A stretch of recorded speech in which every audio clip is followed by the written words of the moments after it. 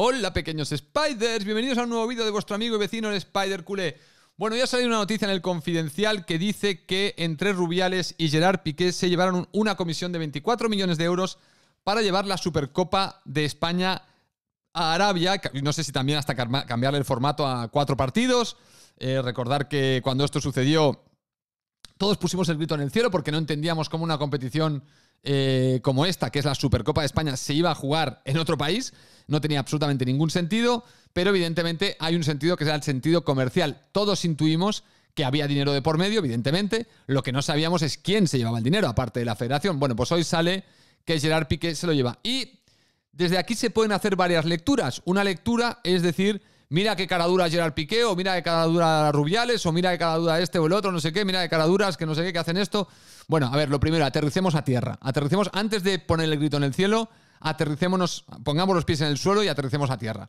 El mundo del fútbol mueve millonadas y el mundo del fútbol se mueve por intereses económicos. Y el mundo del fútbol hace trapicheos con el dinero constantemente porque genera mucha pasta. Si a Rubiales y a Piqué les han dado 24 millones en un periodo, o les van a dar 24 millones en un periodo de 6 años, porque son 4 años por cada año que se juega la competición en Arabia, que serán seis años, con lo cual son 24 en total.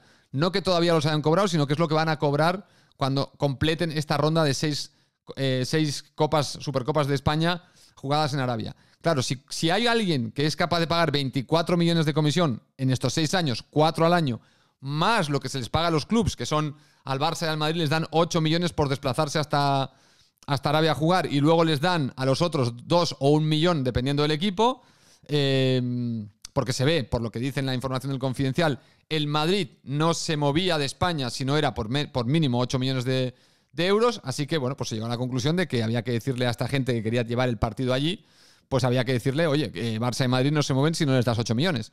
Y, bueno, pues aceptaron, evidentemente. ¿Por qué?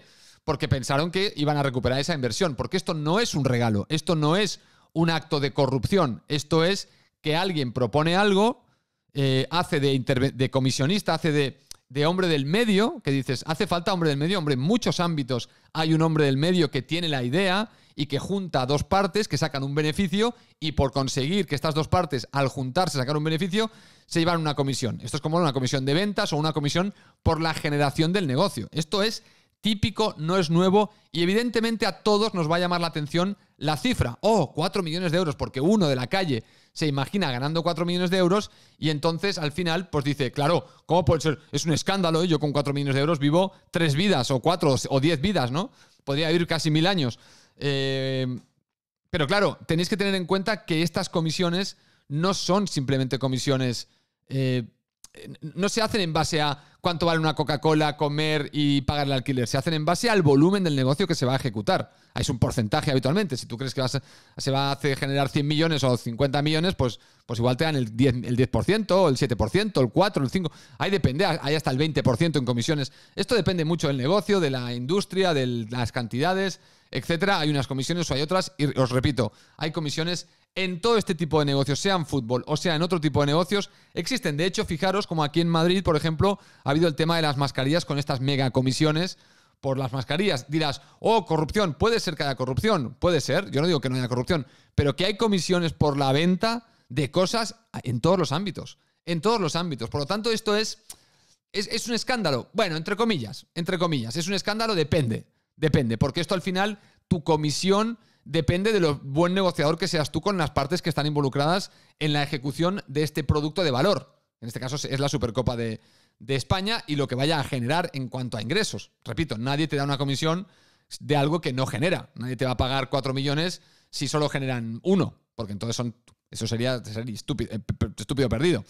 Ahora, lo que sí canta un poco, y os voy a leer un poco, es que cómo se produce el conocimiento de esta información, que esto sí que es un poquito más grave. Y es que la Real Federación Española de Fútbol hace poco eh, anunciaba que había sido hackeada y que le habían robado una serie de, documentos, de audios, de, emails y tal, que se habrían vendido a la prensa para mm, divulgar esta información. Eh, que sería confidencial entre las partes que están involucradas en el negocio, que es algo también muy típico, que, sea, que sean cosas confidenciales porque son empresas privadas. Eh, y se ha, divulgado y vais a ver un poco, vamos a leer un poquito algunos de los fragmentos que se están publicando. para que veáis un poco cómo, cómo son estas negociaciones, porque creo que os vais a descojonar de la, de la risa un poco de cómo es el, las charlas, ¿no? Las charlas informales cuando se está negociando esto. Dice uno de los. Em, una de las conversaciones entre Rubiales y Piqué, cuando se llega al pacto con Arabia Saudí y queda ya cerrado, dice, le dice Rubiales a, Piqué, abro comillas, Jerry, que es eh, Piqué, eh, enhorabuena. Y no me refiero ni al partidazo de ayer ni a tu gol. Me refiero a que ya son más de 12 y por lo tanto ya es firme el acuerdo con Arabia Saudí. Un abrazo. Gracias por todo y aquí estoy para lo que necesites. Bueno, menos para algunas cosillas que casi mejor no me necesitas. Risas, jajaja. Venga, un abrazo enorme, cuídate mucho, amigo. Dice, eh, dice, otra de las conversaciones, cuando el, Madrid le decía a Piqué que no iba a moverse de, no se movería de España si no era por, ocho, por mínimo 8 millones de euros. Y le dice Piqué a, a Rubiales. Dice, a ver, Rubi, si es un tema de dinero, si ellos por 8 irían, hostia, tío, se paga 8 al Madrid y 8 al Barça. Y a los otros se les paga 2 y 1. Son 19 y os quedáis la federación 6 kilos, tío. Antes de no, quedar, antes de no quedarnos nada, os quedáis 6 kilos. Y apretamos a Arabia Saudí y a lo mejor le sacamos, le decimos que si no, el Madrid no va. Y le sacamos un palo más o dos palos más. Estas son palabras de Piqué que le dice eh, a este caballero, ¿no? Al, a Rubiales. Eh, luego Rubiales al final del 2018 eh, planearon un torneo que se iba a jugar en el Camp Nou y iban a hablar de cómo convencer al Madrid para que jugara en el Camp Nou. Y decían lo siguiente, abro comillas, yo lo voy a ver también esto con el Madrid. Yo creo que el Madrid me va a decir que no. Como el Madrid me va a decir que no, eso nos viene de puta madre para justificarnos de cara al futuro y decimos que es el estadio con más capacidad, el Camp Nou, que es el campeón de liga que es el campeón de Copa o finalista de la Copa. Yo creo que, legitimidad tenemos, le dice Rubiales a Piqué. En el sentido de que, bueno, si no pueden ir al Camp Nou, pues entonces eh, es una excusa buenísima para decir, bueno, pues nos vamos a un sitio neutral, ¿no? Eh, bueno, como digo, la Real Federación estuvo estuvo hackeada. Eh, hay un tema de, confidencialidad y de, y de, posiblemente una ilegalidad, porque se intuía que el robo de la información que le habían hecho a la Real Federación Española de Fútbol de estos documentos eran justo para vendérselo a la prensa y que la prensa publicara esto como si fuera un escándalo, ¿no? Eh, ya sabemos igualmente, además también os comento que el tema de Gerard Piqué con esta empresa que tiene, donde formó la, se llama Cosmos con K, donde hizo lo de la, nueva Copa Davis, donde tiene lo de eSports con, con compró los, derechos televisivos de la League On, la League de los Granjeros, eh, compró la Andorra con esta empresa Cosmos. Bueno, eh, eh, Gerard Piqué se está moviendo mucho en el mundo del deporte con esta empresa para organizar eventos, torneos, etcétera. Evidentemente no lo hace por amor al arte ni por amor al deporte, lo hace por amor al dinero, lo hace como, como hombre de negocios. Y me parece que es correcto que, lo haga. O sea, si él consigue, como digo, generar torneos y competiciones que generan un alto valor y, y una gran cantidad de dinero, es normal que él se lleve una proporción de lo que genera. Esto se va a querer sacar de quicio, imagino, para atacar a Piqué por, por ser un hombre exitoso de negocios. Y en cambio pues no atacaremos a Florentino Pérez también por ser un hombre exitoso de negocios, que vete tú a saber cuántas comisiones se llevará. Seguramente en el chiringuito, que ignoraron los audios de Florentino Pérez cuando salieron a la luz, esto lo discutirán y lo tratarán. Porque aquí el, el dilema que mucha gente planteará es si un jugador en activo puede además ser un empresario de éxito en temas deportivos y meter las narices en organizar cosas como la de la Supercopa de España. Hombre, en principio no es ilegal. En principio, si hay un jugador de fútbol que tiene esa capacidad de crear una empresa que es capaz de imaginar, cranear, desarrollar torneos o, situaciones que son aceptadas por la Real, eh, Federación, eh, la Real Federación Española de Fútbol, aceptadas por el Barça y por el Madrid por un tema de dinero, porque hasta 8 no nos vamos, pero si me dais 8 me voy a jugar la Supercopa a Marte. Bueno, claro, entonces ya no es un tema solo de Gerard Piqué, es un tema económico donde todo el mundo pasa por el aro con el tema económico. Es que todo el mundo. Entonces al final se va a querer hacer una montaña de esto, eh, de escándalo y tal, y repito, alejaros de los canales que hagan un escándalo de esto. De verdad, alejaros porque eh, viven en Bavia. O sea, el, que monte un escándalo por esto vive en Bavia y ya está. Y si vives en Bavia, pues está muy bien, pero entonces no puedes explicar cómo funciona el mundo, ni puedes explicar qué significa las implicaciones de cada cosa que ves en ciertos lugares, porque te vas a ir a lugares que desconoces y te vas a montar un pollo y le vas a hacer creer a la gente que esto es una, una aberración del Señor, una aberración de Cristo. No, si un caso, la aberración del Señor, si queréis, es el que el mundo del fútbol mueva tantos millones, pero al final, que el mundo del fútbol mueva tantos millones es que yo soy corresponsable igual que lo eres tú, por, por ser seguidor, por comprarte la camiseta del Barça, por pagar el abono del campo, por pagar el abono de la tele, por pagar por ver la tele, por irte a un bar a tomarte unas copas y, y, ver un partido en un bar y gastarte ese día más en el bar que un día normal porque estás comiendo, estás picando cosas porque el partido dura, hora y media. Bueno, porque te interesa el mundo del fútbol.